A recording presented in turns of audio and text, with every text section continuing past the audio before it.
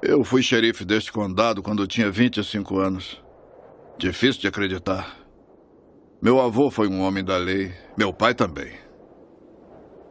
Eu e ele fomos xerifes na mesma época, ele lá em plano e eu aqui mesmo.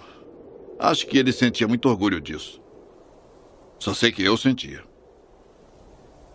Alguns dos xerifes da antiga nunca andaram armados. Muita gente não consegue acreditar nisso. Jim Scarborough nunca usou arma, o Jim mais novo. Gaston Boykins não andava armado lá no condado de Comanche. Sempre gostei de ouvir histórias do pessoal da antiga. Nunca perdi uma chance de ouvir. É impossível não se comparar com o pessoal da antiga. Fico só pensando como eles agiriam hoje em dia. Tem um rapaz que eu mandei para a cadeira elétrica em Huntsville há um tempo atrás. Eu prendi e testemunhei contra ele. Ele matou uma garota de 14 anos. Os jornais diziam que foi crime passional, mas ele me disse que não havia paixão nenhuma. Me disse que há muito tempo pensava em matar alguém e que se o soltassem iria matar de novo. Disse que sabia que ia para o inferno. E chegaria lá em 15 minutos. Eu não sei o que pensar disso. Não sei mesmo. Os crimes de hoje em dia são difíceis de se entender. Não é que eu tenha medo de combatê-los.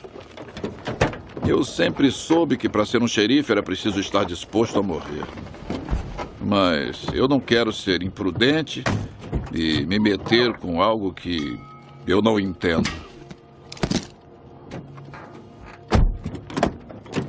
Teria que pôr a minha alma a prêmio. Teria que dizer tudo bem. Vou fazer parte desse mundo. Sim, senhor, eu acabei de passar pela porta. E como é que ele está? O xerife ele estava carregando com ele um negócio tipo cilindro de oxigênio para efizema, sei lá. quê? É, e tinha uma mangueira por baixo da manga. E pra que serve exatamente? Eu não sei para que serve. Pode verificar quando chegar. Sim, senhor. Está tudo sob controle.